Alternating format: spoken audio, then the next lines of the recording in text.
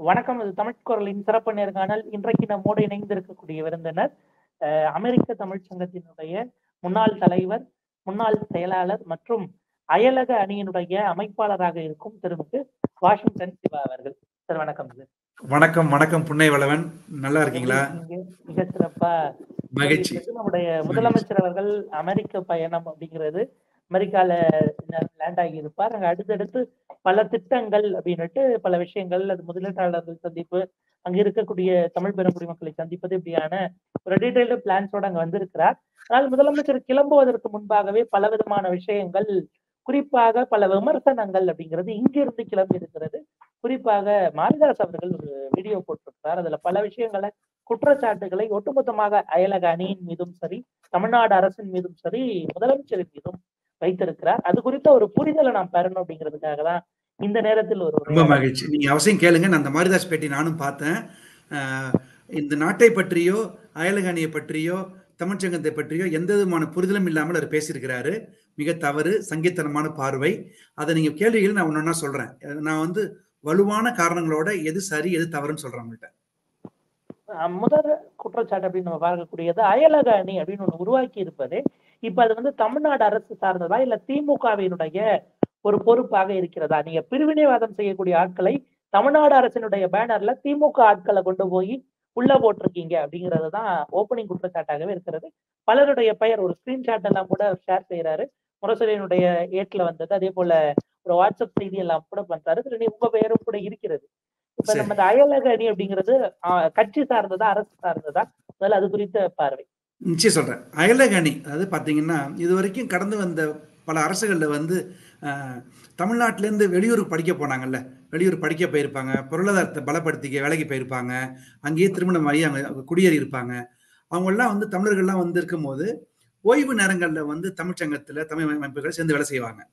அப்போ தமிழக அரசு இந்த புதிய திராவிட தமிழக அரசு வந்த உடனே அயலக அணி வாரியம்னு ஒரு வாரியத்தை முதலமைச்சர் செஞ்சார். இதை வந்து உலகெங்கும் வாழும் தமிழர்கள் முதலமைச்சர்கிட்ட தொடர்ந்து கேட்டுக்கிட்டு கலைஞர்த்தையும் கேட்டாங்க.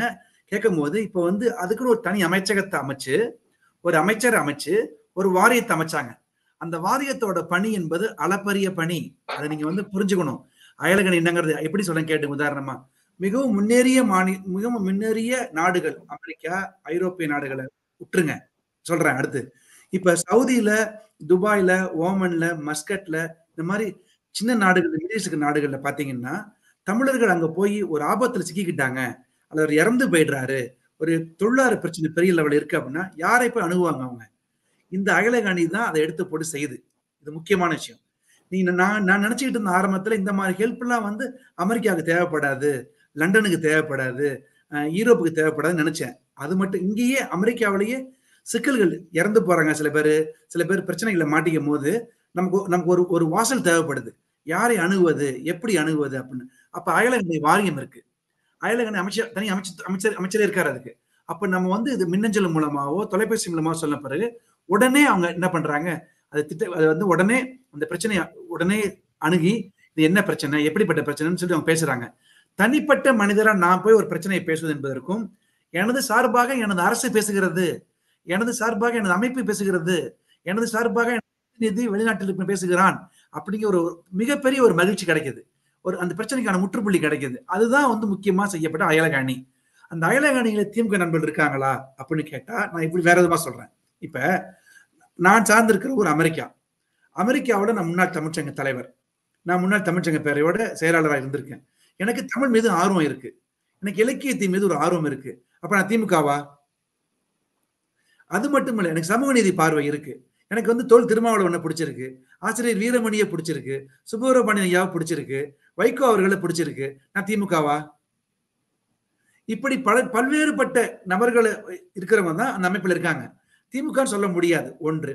அடுத்தது பார்த்தீங்கன்னா இதில் யார் இருக்கிறா அப்படின்னு கேட்டீங்கன்னா அந்த அயலக அணியில உலகம் முழுக்க இருக்கிற தமிழர்களை ஒருங்கிணைக்கிறதுக்காக இந்த அயலக அணி அமைப்பை உருவாக்கும் போது இப்போ புன்னைவளவனை கூப்பிட்டு புன்னைவளவன் நீங்க அமெரிக்காவில் இருக்கீங்களா? தமிழ் ஆர்வம் சார்ந்து யார் இருக்கா அப்படின்னு கேட்கும்போது நீங்க அஞ்சாறு பேர் சொல்றீங்க. அந்த அந்த டீம் வந்து பாக்குது. சிவா யாரு? பாலா யாரு? பாண்டிமதி யாரு பாக்குறாங்க. அப்ப நம்பி அவங்க போடுறாங்க. இவன் திமுகவா அப்படின்னு பாக்குறது இல்லை அவங்க. தமிழ் ஆர்வம் மிக்க இருக்காரா? ஒன்னே ஒண்ணு மட்டும் நாங்க குறிப்பா பாத்துக்கிறோம். அந்த பையன் ஆர்எஸ்எஸ் இருக்காரா? நிச்சயம் இல்லை. அவர் பிஜேபி சார்புடையவரா நிச்சயம் இல்லை. அப்படி தெரிஞ்சுக்கிறோம். ஏன்னா பிஜேபி ஆர்எஸ்எஸ் என்பது மதவாத சக்திகளை முன்னிறுத்துகிற ஒரு அமைப்பா இருக்கு நமக்கு. குறிப்பா தமிழர்களுக்கு எதிரான கட்சி அது இருக்கு. அதனால இந்த அமைப்புகள்ல அவங்க வரவே மாட்டாங்க. இப்ப எனது நண்பர் ஒருத்தர் இருக்காருன்னு வச்சுங்களேன் அமெரிக்காவில். அவர் ஸ்ட்ராங் ஆர்எஸ்எஸ் வச்சுக்கோங்க. அவரை கூப்பிட்டு அயலகணி ஃபார்ம் பண்ண போறோம் வரீங்களான்னா நான் இதுக்கு வந்து நாங்க வந்து என்ன செய்ய போறேன் அப்படிம்பாரு. அவருக்கு அது தேவைப்படலை. ஏன்னா அவரோட லிங்க் வேற. அதனால இந்த குற்றச்சாட்டு என்பது இது வந்து நீங்க நல்லதாகவும் எடுத்துக்கலாம் பாசிட்டிவாகவும் எடுத்துக்கலாம். ஆனா அப்படி அல்ல. பல்வேறுபட்ட மக்கள் அதில் இருக்காங்க. குறிப்பா தமிழ் ஆர்வம் சார்ந்தவர்கள் இலக்கியத்தின் மீது ஆர்வம் உடையவர்கள் திராவிட சித்தாந்தின் மீது ஆர்வம் உடையவர்கள் அப்படிதான் அவங்க இருக்காங்க. இல்ல அதுதான் அது குற்றச்சாட்டு வைக்கிறாரு. திக திமுகவினுடைய கிளை அமைப்பை போல் இன்றைக்கு அங்கு செயல்பட்டு கொண்டிருக்கிறார்கள். டிரவிடியன் மூவ்மெண்ட்னு ஒண்ணு வந்து புஷ் பண்ணணும் என்பதற்காக பிரிவினை எண்ணத்தோட எனக்கு தெரியும். அந்த பேட்டி முழுக்க முழுக்க ஒரு நிமிஷத்துக்கு ஒரு அஞ்சு முறையாச்சும் பிரிவினை பிரிவினை பிரிவினை அப்படின்னு சொல்லிட்டு இருக்காரு. அப்படிப்பட்ட நோக்கத்தோட அங்க நீங்க என்ன பண்றீங்க? நான் சொல்றேன். இப்ப நான் சொல்றேன். இப்ப நீங்க வந்து இணையத்துல நீங்க நீங்க என்னை வந்து நீங்க மூன்று ஆண்டுகளா பேட்டி எடுத்துட்டு இருக்கீங்க பல்வேறு காலகட்டங்கள்ல. வாஷிங்டன் சிவா அப்படின்னு கூகுள் பண்ணி பார்த்தீங்கன்னா நான் அமெரிக்காவில் எங்கே இருக்கேன்? என்ன படிச்சிருக்கேன்? எங்கே வேலைக்கு போகிறேன் அப்படிங்கிறது தெரிஞ்சிடும் ஒன்று அமெரிக்க நாட்டில் இருக்கும்போது நான் அமெரிக்க குடியுரிமை வாங்கியோ அல்லது கிரீன் கார்டு வாங்கி இங்கே இருக்கும்போது இங்கே இருக்கிற சட்டத்திட்டங்களுக்கு உட்- உட்பட்டு தான் நான் இங்கே இருக்கேன். நான் வந்து தமிழ்நாட்டை எப்படி பிரிவினை பண்ண முடியும்? ஒன்று எனது மண் தமிழ் மண் எனது மண் தமிழ்நாடு நான் எனது தாய்மொழி தமிழ் நான் அமெரிக்கா வந்திருக்கிறேன் படிக்க வந்திருக்கிறேன் வேலைக்கு போக வந்திருக்கிறேன் வேலைக்கு போன பிறகு திருமணம் பண்ணிக்கிறேன் குழந்தை பிறக்குது. நான் எனது அமெரிக்காவில் இருக்கிறேன் ஆனால் என் தாய்நாட்டின் மீது பற்று இருக்கு. எனக்கு அமெரிக்கா வேலை கொடுத்துருக்கு சம்பாத்தியம் கொடுத்துருக்கு நல்ல பொருளாதார பலத்தை கொடுத்துருக்கு. அதில் மாற்று கருத்து கிடையாது நான் எப்படி பிரிவினைவாதத்தை தூண்ட முடியும்? இப்போ நான் தூண்டுறதா இருந்தா அவ்வளோ வீக்கா நம்ம இருக்கோமா என்ன? எவ்வளவு தவறான பார்வை? ஒன்று. ரெண்டாவது இது ஆரம்ப காலங்கள் அறிஞர் அண்ணா சொன்னது போலதான். அதாவது அறிஞர் அண்ணா வந்து தமிழ்நாடுன்னு பேர் வச்சார் இல்லைங்களா? அது எவ்வளவு பெரிய விஷயம் இந்தியாவில்? இந்தியாவிலேயே ஒரே ஒரு மாநிலம் தான் நாடு அப்படின்னு இருக்கு. அது நமக்கு ஒரு பெருமையை தருது. தமிழ்நாடு பொருளாதாரத்துல மிக சிறந்து விளங்குது. உங்களிடையே நான் பலமுறை பேசியிருப்பேன். இந்திய பொருளாதாரத்துல இரண்டாவது இடத்துல இருக்கு தமிழ்நாடு. அந்த தமிழ்நாட்டை சேர்ந்தவர் அமெரிக்காவில் இருக்கும்போது இந்த மண்ணின் பெருமைகளை பேசுவார் அவர். அது எப்படி பெருமையானது தூண்டும் தந்தை பெரியாரை பற்றியோ அண்ணாவை பற்றியோ கலைஞரை பற்றியோ தோல் திருமாவை பற்றியோ வைகோவை பற்றியோ ஆசிரியர் வீரமணியை பற்றியோ இப்படி இந்த பல்வேறு தலைவர்களை கம்யூனிஸ்ட் தலைவர்கள் இருக்காங்க பல பேர் இருக்காங்க. நல்ல கண்ண ஐயாவை நாங்க வரவழைச்சு பேச வச்சிருக்கோம். ஐயா மகேந்திரன் ஐயா வந்திருக்காங்க அமெரிக்கா வந்திருக்காங்க பேச வச்சிருக்கோம். அப்போ இவங்கெல்லாம் திராவிட திராவிடத்தை தூக்கி இப்படி போறவங்களா நல்ல ஐயாவை வந்து அமெரிக்க தமிழ்ச்சங்க பேரவையில் பேச வச்சது வந்து ஒரு வரலாற்று முக்கியத்துவம் வாய்ந்த நிகழ்வு. நல்ல ஐயா வந்து அமெரிக்கா வருவதற்கு விசா அப்ளை பண்ணும்போது அந்த ஆஃபீஸர் கேட்டாராம் இவ்வளவு பெரிய நீண்ட அனுபவத்தை உடைய உடைய ஆளா இருக்கீங்களே. நீங்க சாந்த கிருஷ்ணன் தன்னை கம்யூனிஸ்டா அப்படின்னு கேட்டு அவர் விசா கொடுத்திருக்காரு ஆபீஸ் ஆபீசர் நல்ல கண்ணையை வரவழைத்து நாங்க அழகு பார்த்தோம். மகேந்திரனையா வந்திருக்காரு இங்க. அப்ப அவங்க எல்லாம் அவங்க எல்லாம் திராவிட சித்தந்த தூக்கி பிடிக்கிறவங்களா? தொழில் திருமா ஒடுக்கப்பட்ட மக்களுக்கும் உரிமைகள் மறுக்கப்பட்ட மக்களுக்கும் தமிழ் தேசியத்தை உலக நாடுகள்ல போய் பேசுற ஒரு உன்னதமான தலைவனை கூட்டு பேச வச்சிருக்கோம். அவர் திராவிட தந்தமா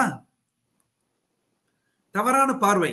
தவறான பார்வை. அது போல இலக்கியத்துல சங்க இலக்கியத்துல திருக்குறளை பத்தி பேசுறவங்க வந்து பேச வச்சிருக்கோம். ஔவையாரை பத்தி பேசுறவங்க பேச வச்சிருக்கோம். பாரதியை பத்தி பேச வச்சிருக்கோம். ஏன் பாரதியை பத்தி பேசுறவங்க பேச வச்சிருக்கோம். நாங்க பல்வேறு கூட்டங்கள்ல. அப்ப அவங்களாம் திமுகவா? மிக தவறான வாதம். அவருக்கு அடிப்படை புரிதல் இல்லை. அமெரிக்க மண்ணின் அவர் பத்தி பத்தி எந்த விதமான புரிதலுமே அவருக்கு இல்ல அப்படிங்கிறது தான் என்னோட ஆழமான கருத்து. அடுத்த கட்டமாக என்ஆர்டி நான் ரெசிடென்ட் தமிழ்ஸ் அப்படிங்கிற அந்த ஒரு விஷயத்தையும் அவர் கேள்விக்கு உட்படுத்துகிறார். இது முழுக்க முழுக்க இந்தியாவினுடைய அரசை மிரட்டுவதற்காக. நாங்க வெளியில இருக்கோம் எங்களுடைய பலம் என்பது ரொம்ப பெரியது. நாளைக்கு திமுகவுக்கு ஏதாவது ஒன்று ஆச்சுன்னா நாட்டையே துண்டாடி விடுவோம்னு இந்திய அரசை மிரட்டுவதற்காக என்ஆர்டியை உருவாக்கி இருக்கிறது ஸ்டாலின் அரசு அப்படிங்கிறாரு. இது வந்து- என்ன சிரிப்பா இருக்கு அப்படின்னா இவர் மறைமுகமா மோடி அரசு வீக்கா இருக்குன்னு சொல்றாரு அவரு மோடி அரசு அவ்வளவு வீக்கா இருக்கா? ஒன்று. இரண்டாவது நான் ரெசிடென்ட் இந்தியன் என்ஆர்ஐ அப்படின்னு வரும்போது நம்ம எல்லாம் இந்தியான்னு வந்துடும் இப்போ இப்போ உதாரணமாக தமிழ்நாட்டிலேருந்து வெளிநாடு போனாலே சிங்கப்பூரா இருக்கலாம் மலேசியாவாக இருக்கலாம் துபாயாக இருக்கலாம் அமெரிக்காவாக இருக்கலாம் லண்டனாக இருக்கலாம். அப்போ அவங்க நான் ரெசிடென்ட் இந்தியன் அவங்களுக்கு நம்ம வங்கி கணக்கு ஆரம்பிப்போம். நீங்கள் பார்த்துருப்பீங்க. என்ஆர்ஐ அப்படின்னு வங்கி கணக்கு. அப்போ ஒரு அமைப்பு ஆரம்பிக்கும் போது நான் நான் ரெசிடென்ட் இந்தியன் ஆனால் எனது அடையாளம் என்பது என்ன? தமிழ். எனது தாய்மொழி தமிழ். எனது நாடு தமிழ்நாடு. அப்ப நான் ரெசிடென்ட் தமிழ் அப்ப என்ஆர்டி அப்படிங்கிற ஒரு காயினை வந்து சட்ட வல்லுநர்கள்ட்ட பேசி அதை வந்து இப்ப இருக்கிற தொழில்துறை அமைச்சர் மாண்புமிகு டிஆர்பி ராஜா அவர்கள் கொண்டு வர்றாரு. அப்ப நம்ம கிட்ட இருக்கிற என்ஆர் இளங்கோவன் நம்ம கிட்ட இருக்கிற வில்சன் ஐயா மிகப்பெரிய சட்ட வல்லுநர்கள் கேட்கிறாங்க இந்த மாதிரி ஒரு டீம் ஒன்று ஃபார்ம் பண்ண போறோம் இது ஓகேவான்னு அவங்க எல்லாம் படிச்சு பார்த்துட்டு இதை ஆரம்பிக்கலாம் நல்ல விஷயம் அப்படின்னு சொல்றாங்க. நான் கூட அவர்கிட்ட போய் கேட்டேன். நீங்க ஏன் அப்படி சொல்றீங்க?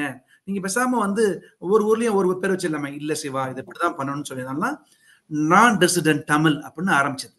இதுல வந்து இது வந்து ஒரு ஒரு நல்ல சித்தாந்தத்தை தவறா புரிஞ்சுக்கிட்டாரு. இதன் மூலமா எப்படி நம்ம ம- மோடி அரசு நம்ம மிரட்ட முடியும்? நாங்கள் அமெரிக்காவில் நான் ஒரு சிறிய புள்ளி. நான் இங்க இருக்க தமிழ் சங்கத்தில் வேலை செஞ்சிருக்கேன் பேரவையில் வேலை செஞ்சிருக்கேன் தமிழ் அமைப்பில் வேலை செஞ்சிருக்கேன். நான் எப்படி தமிழ்நாட்டை துண்டாடுவதற்கு நான் உதவியா இருக்க முடியும்? அது மட்டுமல்ல நான் ஒவ்வொரு ஆண்டும் தமிழ்நாடு வரேன். அப்பாவை பார்க்க வரேன் அம்மாவை பார்க்க வரேன் உறவுகளை பார்க்க வரேன் திருமணங்களுக்கு செல்றேன் விழாக்களுக்கு செல்றேன். அப்ப நான் தவறான ஆளா இருந்தா மத்திய அரசு என்ன பிடிச்சிடாதா? நான் பிரிவினைவாதத்தை தூண்டுறேன் தமிழ்நாடு துண்டாட போறேன் இந்திய அரசு நான் வந்து எதிராக இருந்தேன்னா எல்லாருக்குமே இப்ப சிவாங்கிற நபரை வந்து எல்லாருக்கும் தெரிஞ்சிருக்கு. எனக்கு அமெரிக்க குடியுரிமை இருக்கு இப்ப கிரீன் கார்டு இருக்கு அப்ப நான் இந்தியா வரேன் போறேன் அப்படின்னா அந்த இந்திய அரசுக்கு எனக்கு தெரியாதா? நீ திருப்பி அமெரிக்காவுக்கு போ அப்படின்னு நினைச்சிருக்கலாமே. அதுவும் தவறான பார்வை. மிக மிக அந்த இடத்துலதான் அவர் என்னன்னா அந்த பவர் சென்டராக செயல்படுவது சைனா பாகிஸ்தான் ஜார்ஜ் சோரஸினுடைய அமைப்பு. எல்லாம் சேர்த்து நீங்க ஊ அப்படின்னு ஒரு ப்ரொபோசல் கொடுத்தீங்கன்னா ஐநூறு கோடியில இருந்து ஆயிரம் கோடி உடனடியா கொடுத்து போய் உடனடியா அங்க உள்நாட்டு கலவரத்தை தூண்டுங்க. அப்படின்னு கொடுத்து உங்களை அனுப்புறதா ஒரு சார்ஜ் வைக்கிறாருல்ல. பொதுவா மாரி செல் மாரிதாச அவர் பேர் கூட தெரியாது. மாரிதாச பத்தி சுத்தமா எனக்கு எந்த விதமான மரியாதையும் கிடையாதுங்க. அவர் மேல ஒன்று. இரண்டாவது அவர் வந்து முழுக்க முழுக்க சங்கீத்தனமா தான் பேசுறாருன்னு எனக்கு தெரியும். இப்ப கூட முதலமைச்சரை போறதை பத்தி கொச்சையா தவ தவறா பேசியிருக்காரு அவரு. இது அரசு முறை பயணம். இந்த அரசு முறை பயணத்துல இப்ப உதாரணமா அந்த கேள்வியில நீங்க வச்சிருப்பீங்கன்னு நினைக்கிறேன். நான் சொல்ல வேண்டியது கடமை. இப்ப நீங்க வந்து முதலமைச்சர் வெளிநாடு போறாருன்னு வச்சுக்கோங்க. மத்திய அரசுல ஒரு முன் அனுமதி பெறணுங்கிறது ஒரு புரோட்டோகால் இவர் அனுப்புறாரு. அப்ப வந்து எதுக்கு நீங்க போறீங்க? அப்படின்னு கேட்கும்போது முதலீடுகளை ஈர்க்க அப்படிங்கும் போது அவங்க வந்து நோ சொல்ல மாட்டாங்க. போயிட்டு வாங்கன்னு சொல்ல போறாங்க. இல்ல எனக்கு உடம்பு சரியில்லை. நான் மருத்துவரை பார்க்க போறேன்னா சரி போயிட்டு வாங்கன்னு சொல்ல போறாங்க. இந்த ரெண்டுக்குமே அமைச்சகம் வந்து சரி சொல்ல போகுது. ஒரு இந்தியா இருக்கிற கட்டமைப்புல ஒரு முதலமைச்சர் வெளிநாடு போறாரு அப்படின்னா மத்திய அரசுக்கு தெரிஞ்சிருக்கணும் இல்லைங்களா? இப்ப இப்ப இப்ப தமிழ்நா இப்ப இந்தியாவிலே பாத்தீங்கன்னா எத்தனையோ முதலமைச்சர்கள் எத்தனையோ மந்திரிகள் நாடாளுமன்ற உறுப்பினர்கள் சட்டமன்ற உறுப்பினர்கள் வந்து அமெரிக்காவில் மருத்துவம் பாக்குறாங்க. அவங்க முறைப்படி முறைப்படி அனுமதி வாங்கிட்டு தான் வராங்க. எங்கேயுமே அவங்க போய் சொல்றது இல்லை ஆனா இவர் முதலமைச்சர் இருக்கிறவரு அவர் போய் வந்து முதலீடு ஈர்ப்பதற்கு போகும்போது அதை கூட கொச்சைப்படுத்தி பேசுறாரு அந்த அந்த தம்பி. விஷயமே தெரியாம வளர்றாரு அவரு. ஆதங்கத்துல வந்து முழுக்க முழுக்க ஐநூறு கோடி ஆயிரம் கோடி ரெண்டாயிரம் கோடி பேசுறாரு. நான் உங்களுடைய பேட்டியிலே பேசியிருப்பேன். ஒரு மூன்று ஆண்டுக்கு முன்னாடி ஸ்டாலின் வந்து சிங்கப்பூர் போகும்போது துபாய் போகும்போது ரெண்டாயிரம் மூவாயிரம் கோடி எடுத்துட்டு போயிட்டாரு. கொளுத்தி விட்டாங்க. அப்போ ஒருத்தர் ஒருத்தர் மீம்ஸ் போட்டிருந்தாரு. அதான் ஆச்சரியம். நம்ம பேட்டி தர வேண்டிய அவசியமே இல்லை. ஒரே ஒரு ரெண்டு வரி மீம்ஸ்ல ட்ரோல் பண்ணிடுறாங்க பிரமாதமா. எப்படின்னா இந்த நாட்டை விட்டு நான் வெளில போகும்போதோ அல்லது அந்த நாட்டுல இருந்து உள்ள வரும்போதோ பத்தாயிரம் வெள்ளிகள் மட்டுமே நான் கொண்டு போக முடியும். எடுத்துட்டு வர முடியும். பத்தாயிரம் வெள்ளிகள் போது எட்டரை லட்சம் ரூபாய் அதுதான் நான் கொண்டு வர முடியும் எடுத்துட்டு போக முடியும். அப்ப நான் வந்து ஆயிரம் கோடி எடுத்துட்டு போக முடியுமா? அவன் பேக்ல போட்டு? அடுத்தது அந்த ஆயிரம் கோடி பேக்கை வந்து அந்த இமிகிரேஷன்ல பிடிச்சிட மாட்டாங்களா? அந்த ஆயிரம் கோடி கொண்டு போய் நான் வந்து துபாயில கொடுத்தா அந்த நாடு அந்த அந்த பணத்துக்கு அந்த- நான் பணம் அங்க செல்லுமா? எந்த விதமான விஷயமே இல்லாம அந்த தம்பி பேசுறாரு. அது தவறு. புரிதல் இல்லை. அமெரிக்க மண்ணை பற்றி புரிதல் இல்லை. இந்திய அரசை பற்றி ஒரு புரிதல் இல்லை. தமிழ்நாடு அரசை பத்தி ஒரு புரிதல் இல்லை. அயலகாணி என்றால் என்ன தெரியல அவருக்கு? என்னாச்சு என்ன அவருக்கு புரியல. நாங்க வந்து பிரிவினை தூண்டுறோம்னு சொல்றாரு. அனைத்தும் தவறு. ரொம்ப தவறா பேசுறாரு. இல்ல இப்ப சான் பிரான்சிஸ்கோல தான் முதலமைச்சருடைய முதல் ஈவெண்ட் இருக்கு அப்படிங்கறத அவர் குறிப்பிட்டாரு நான் அதை முழுக்க முழுக்க பார்த்துட்டேன். அதுல உருப்படியா ஒண்ணுமே இல்லை அப்படின்னு குறிப்பிட்டுக்கிறார். முதலமைச்சருடைய ப்ரோக்ராம் ஷெடியூலோ அல்லது மினிட்ஸ் ஆஃப் மீட்டிங்கோ அதெல்லாம் முதல்ல அவர் கைக்கு எப்படி கிடைச்சது? அங்க நடக்கக்கூடிய அந்த ஈவெண்ட்ஸ் அதற்கான முன்னேற்பாடுகள் இது குறித்த தகவல்கள் இவருக்கு எப்படி முதல்ல எக்ஸஸ் ஆச்சுங்கிற ஒரு கேள்வியும் இருக்கு. தவறு. ஏற்பாடுகள் எப்படி இருக்கு? தவறு சொல்றேன். மிக மிக தவறு. அவருக்கு எதுவுமே தெரியல. வளர்றாரு அவரு. சுத்தமா வளர்றாரு அவர் வந்து. அதை வேற பல பேர் பார்த்து தப்பு தப்பா கமெண்ட் போட்டிருக்காங்க. என்னன்னு சொல்றேன் கேளுங்க. அதாவது முதலமைச்சர் அமெரிக்கா வரணுங்கிறது எங்களுக்கு மூன்றாண்டு கனவு. முதலமைச்சர் ஸ்டாலின் அவர்கள் வந்து மேயராக இருக்கும்போது அமெரிக்கா வந்திருக்கிறாரு. தமிழ்ச்சங்க பேரவை மாநாட்டில் பேசியிருக்கிறாரு. இப்ப முதல் முறையா முதலமைச்சரா வராரு. அப்ப முதலமைச்சரா வரும்போது இங்க இருக்க தமிழர்கள்லாம் மகிழ்ச்சி அடைகிறாங்க ஆனால் தமிழர்களை மட்டும் பார்க்க வரவில்லை. அவர்கள் வந்து இங்க இருக்கிற மிகப்பெரிய நிறுவனங்களை பார்க்க வந்திருக்கிறாரு. நாளை இன்றைக்கு மத்தியானம் ஒன்னே முக்கால் மணிக்கு சான் சான் பிரான்சிஸ்கோ விமான நிலையத்தில் லேண்ட் ஆகிறாரு. ஓய்வெடுக்கவே இல்லை. ஜெட்லாக் இருக்கும் உங்களுக்கே தெரியும். நாளைக்கே வந்து கூட்டம் வச்சிருக்காங்க. என்ன கூட்டம் வச்சிருக்காங்கன்னா அமெரிக்காவில் மிக சிறந்து விளங்குகின்ற இருநூத்தி ஐம்பது கம்பெனிகளோட சிஇஓஸ் மீட் பண்றாரு. இதுதான் யதார்த்த உண்மை. இதை வந்து யார் முடிவு பண்ண? Guidance bureau of Tamil Nadu and industry minister T R B Raja அவர்கள் அந்த இருநூத்தி ஐம்பது சிஓட்டு பேசியிருக்காரு. நீங்க யாரு? என்ன பண்றீங்க? உங்களால எவ்வளவு இன்வெஸ்ட் பண்ண முடியும்? நீங்க முதலமைச்சரை பார்க்க விரும்புறீங்களா? என்ன காரணம் பார்க்க விரும்புறீங்க? அப்படின்னு அவர் வந்து இதுக்கு இதை வந்து முதல்ல நூறுன்னு சொன்னாங்க. அப்ப நூத்தம்பதுன்னாங்க. இப்ப இருநூத்தி ஐம்பது இன்னும் இருநூறு கேட்டிருக்காங்க. அப்ப ஆர்வமா வராங்க. அதாவது ஒரு மில்லியன் டாலர் இன்வெஸ்ட் பண்ணா கூட எட்டரை கோடி ரூபாய். நூறு மில்லியன் இன்வெஸ்ட் பண்ணா எண்ணூத்தி ஐம்பது கோடி ரூபாய். அப்ப ஒரு மில்லியன் ஆரம்பிச்சு நூறு மில்லியனுக்கு இன்வெஸ்ட் பண்ணுறதுக்கு நிறைய பேர் தயாரிருக்காங்க அப்ப நாளைக்கு அந்த கூட்டமே நடக்க போகுது. யாருக்குமே தெரியாது. நாளைக்கு அந்த கூட்டம் நடந்த பிறகுதான் நாளைக்கு தான் பிரஸ் ரைஸ் வரும். யார் மீட் பண்ணா? சிஎம் யார் மீட் பண்ணா? சிஎம் வந்து மிகப்பெரிய நிறுவனங்கள். இப்போ கூகுள் நிறுவனமா இருக்கலாம் மைக்ரோசாஃப்ட் நிறுவனமா இருக்கலாம் அல்லது வந்து டெஸ்லாவா இருக்கலாம் அல்லது பெரிய நிறுவனங்கள் எல்லாத்துக்கும் போக போறாருன்னு மீடியா சொல்லுது. ஆனா தமிழக சொல்லியிருக்கா? சொல்லவே இல்லை. அப்ப இவர் இவர் மீடியா மினிஸ்டர் வந்து பத்திரிகை செய்தியை பத்தி பேசிட்டு இருக்காரு அவரு. ரொம்ப தவறான பார்வை அவருக்கு எதுவுமே இந்த நிமிடம் வரைக்கும் இந்த நிமிடம் வரைக்கும் எஸ்எஃப்ஓல எந்தெந்த சிஓஸை பார்க்க போறாருன்னு யாருக்குமே தெரியாது அதர் தான் கைடன்ஸ் பீரோ அந்த கைடன்ஸ் ஆஃப் தமிழ்நாடு அப்படிங்கிறது வந்து திட்டமிட்டு இருக்கு ஆறு மாதமா திட்டமிட்டு இருக்கு அதை பக்கவா ஏன்னா முதலமைச்சர் அமெரிக்கா வரும்போது உலக நாடுகள் எல்லாம் பாக்குறாங்க இந்தியாவில எல்லாம் பாக்குறாங்க அப்ப ஒரு ஒரு முதலமைச்சர் வராரு அமெரிக்கா வராரு யாரை பார்க்க போறாரு யாரை பார்த்து பேச போறாருங்கிற வருது அப்ப நாளன்னைக்கு தெரிய வரும் ஆட்டோமேட்டிக்கா எல்லாமே. மிக நிச்சயமாக திங்க் ரொம்ப காலத்தே எடுக்கப்பட்ட ஒரு நேர்காணல் அப்படின்னு நான் இதையும் கருதுறேன்.